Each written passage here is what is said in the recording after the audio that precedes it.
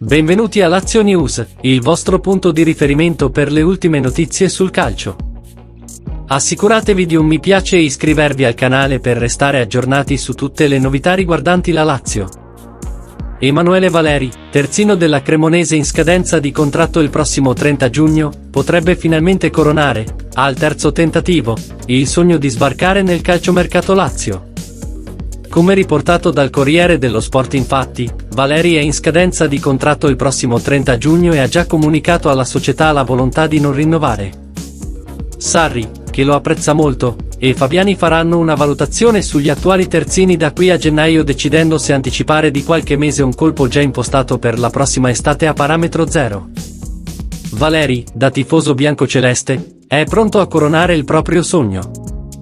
Ciao tifoso biancoceleste, pensi che Valeri sia un buon rinforzo? Lascia la tua opinione nei commenti, poiché è molto importante per la Lazio.